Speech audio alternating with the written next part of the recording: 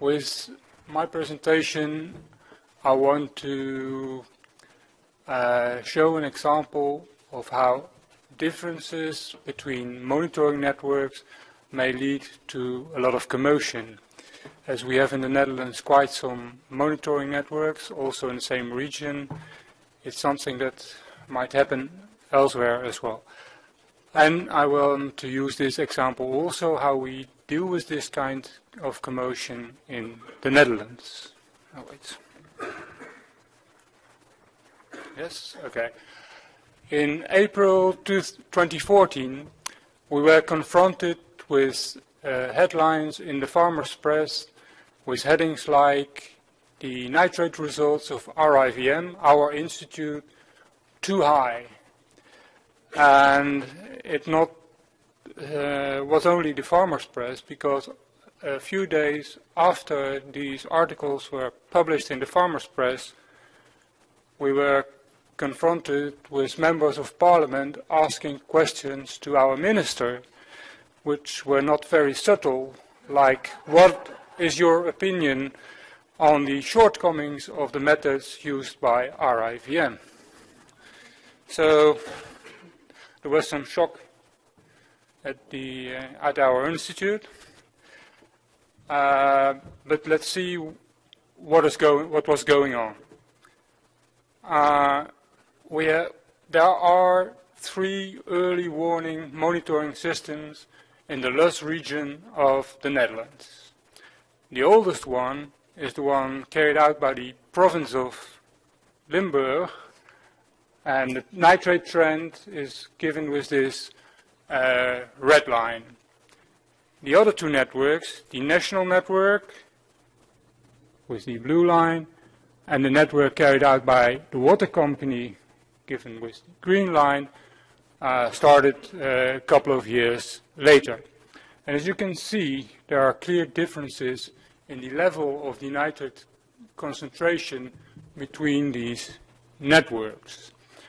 And this was the reason why the water company carried out a small experiment. They took some samples from a field and they treated these samples with the methods used by our national network, LMM, and they treated it with their own protocol, uh, that's the, the DSG. And as you can see, clear difference in nitrate concentrations, concentrations being higher when our uh, method was used. So this was the reason, as soon as these results were published, this was the reason for this commotion and the questions. Let's see, oh, this one. So let's first things, let's put first things into perspective. Although we are the second largest exporter of agricultural products in the world, the size of our country is only one-tenth of that of California. And now we are going to look to an area which is even small for the Netherlands here in the southern part, the Loess region. Now, in this Loess region, uh, there are three operational early warning networks. We have the national network, which covers the entire region. We have a network by the province, which is limited to the higher areas in this Loess region, the so-called plateaus, and we have a network of the water company which is limited to the uh, groundwater protection zones. So the question is why differences in monitoring results in such a small area caused such a lot of fuss in the farmers' press and in our parliament. As you all might know that farm income depends on nitrogen use and this relationship uh, differs between soil type, crop types, uh, market conditions. But what is uh, the main thing is that the nitrogen use in the Netherlands is regulated by nitrogen application standards. So a standard is a maximum amount of nitrogen that a farmer may apply on his field. And these standards differ between crop types and soil types, and the reason for the differences between soil types is that these soil types differ in vulnerability to nitrate leaching, and as loess soils are considered as most vulnerable, the application standard are the lowest for these loess soils. So the relation between the results of the monitoring networks is that the nitrogen, nitrogen application standard are based on the results of the national network. So uh, the application limits are derived uh, with using a relationship between the nitrogen leaching and the nitrogen surplus, as shown in, in the, the picture. And these, this relationship is derived with data from the national network. In addition, we have environmental outlooks, which are based on a model called STONE, and this model is calibrated with data from the national network. To make it even worse, both the LMM data and the STONE results are reported to the European Commission. So in case that the LMM data overestimate leaching, the application standards may be too strict and outlooks may be too pessimistic. So I hope that you understand why we had some commotion. So the million dollar question is, which is the best protocol or method to be used to determine the nitrate concentration in root zone leaching in order to determine these nitrate application, nitrogen application standards. So let's first talk about a little bit about the process, how we tackled this policy problem. Uh, as, as people responsible for the three different networks, we started to call each other, tried to define the problem, and talked about possible actions. What we did was we installed a working group, which involved, of course, the people which are uh, which were working for the different uh, networks, but we also invited some independent scientists to give their opinion. Now, we had several meetings, and in these meetings, we of course compared the setup of the different networks. We looked for weaknesses in these setup, we discussed results of previous experiments. We defined new experiments to be carried out, and we carried them out.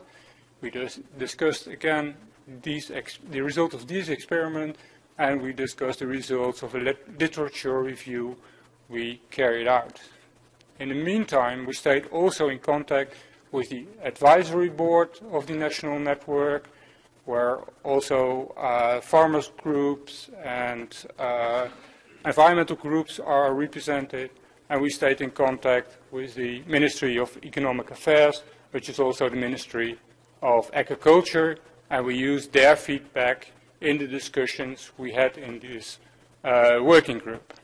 So, so far the process, process. Let's now look at the main items we looked into with the working group.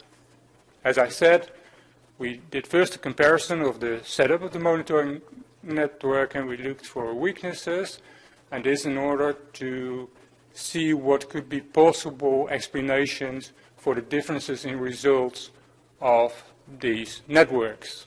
And we came up with two factors that we thought were most relevant. First, the area covered by the networks, and secondly, the pore water extraction method. I will show you how these uh, networks differ, and I will show you the effects of area and pore water extraction methods. So first, the national network. As I said, it covers the entire region. We have 50 commercial farms in this network, and at each farm, each year, 16 boreholes are made, and we sample uh, the soil column between 150 and 300 centimeters, so 5 to 10 feet depth. In this region, groundwater is very deep, 10, 20, 60 meters, so this is the only part of the Netherlands where we don't have groundwater at 1 meter. Um, and we extract soil moisture with drainage centrifugation. So the provincial network, which is limited to the higher areas, the so-called plateau, uh, they sample each field uh, each year, 170 fields. They make uh, drill five boreholes per field, and they take uh, 10 centimeter length uh, soil sample in each uh, borehole at about one, 1 meter 30. Uh, the extraction in this case is by batch extraction with water. And last not, but not least, the network of the water, water company, which is limited to the uh, groundwater protection zones. It consists of 65 fields. At each field, two boreholes are drilled, and in each borehole they sample two uh, different depths uh, 20 centimeter length uh, uh, soil samples at 150 and 2 meter 50. They have also batch extraction, but not with water, but with a calcium chloride uh, solution. So you see there are a lot of differences between these uh, networks, and we considered uh, area and the differences in extraction method. So let's see the results of the uh, comparison in area. The area we uh, looked at is uh, we differed between dairy farms and arable farms, and we looked at the results of the uh, provincial network in red, and for the national network, we differed between farms outside the plateaus and inside the plateaus. So all the points of the provincial network are inside the plateaus. So we see that for dairy farms, there are, there are differences, but they're not systematic. However, for arable farms, we see that farms outside the plateau area have a much higher concentration than farms inside the plateau area. So the differences between the provincial network and the national network could be explained by a difference in area that is covered. However, we also found differences in pore water extraction method. What we see is that the nitrate concentration in uh, water extracted by centrifugation is higher than the concentration in a batch uh, extraction with water. And we did again uh, a similar experiment, now comparing centrifugation with batch extraction with uh, calcium chloride, and we came up with the same results. So also there you see a difference, and we concluded that nitrate in mobile water extracted with the drainage centrifugation uh, is uh, higher, sorry, is higher than nitrate in the average pore water uh, in the uh, yeah in the average pore water. So to wrap up, we have a difference in results between commonly used soil moisture sampling protocols, and this led to a lively debate in the agrarian, scientific, and political arena in the Netherlands. The stakes are high, as changing the nitrogen application standards may affect both the agrarian income as well as the nitrogen leaching. With respect to the process, all relevant participants were involved from the start of the discussion, and with respect to the outcome, we see that both the differences in area and in the extraction uh, method cause differences in nitrate level.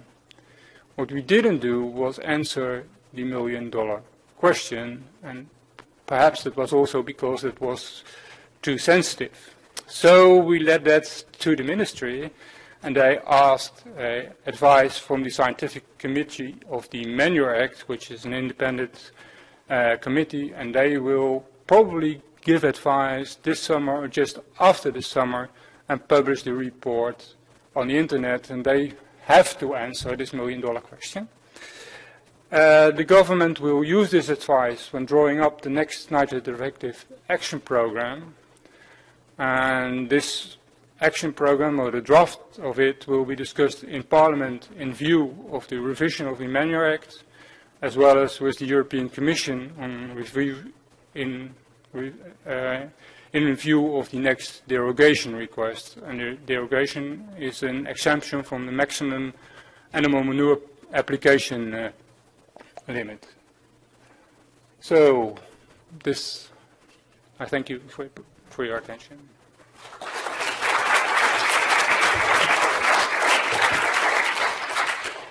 Thanks. Questions?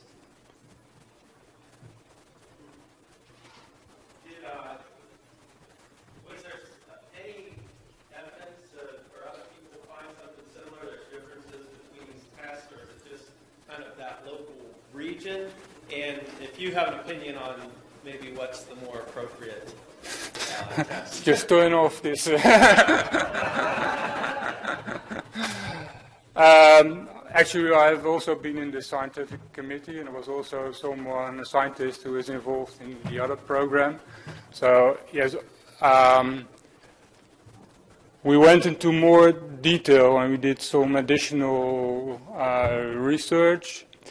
And we think, we, we looked at two things. It could be either denitrification, which is occurring in the, in, in, the, in the smaller pores, so that then you have in the smaller pores, which are also extracted by the batch extraction, lower concentrations than in the larger pore, which are extracted by drainage centrifugation. Or it might be anion exclusion. And because we couldn't find any evidence that there would occur in these conditions uh, denitrification. And also chloride uh, showed a similar trend as nitrate. We, uh, we really think it's anion exclusion which causes these differences.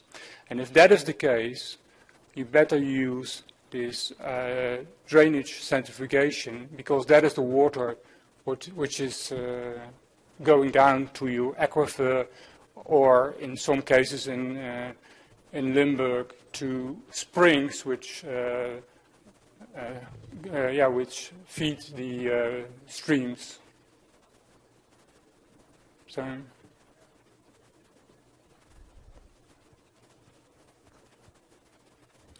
Just a clarification for me to understand, Dico. When you're comparing those three networks uh, over the years, were they sampling at the exact same location or they were at different location and there is some spatial variation factor playing a little bit in that? Uh, no, they so in the little experiment that was carried out, they were sampling at the same location. In the, uh, the, the experiments we did with uh, comparing uh, the drainage centrifugation with batch experiment that were uh, replicate samples, so we were sure that should be the same, but the network differences uh, that, that are different uh, lo locations. There's one thing which I should add, but I had no time or I thought it would be too confusing. One of the reasons why the concentration in the uh, water supply area is lower is also because there the drinking water company works together with the extension service and the farmers to decrease the nitrogen load and they we have figures that they did decrease the nitrogen load. So, so it is also reasonable that their concentrations in these areas are lower. So that's another ex explanation for, for the differences. But because of this experiment, we are, we're also sure that there is a difference in extraction method. So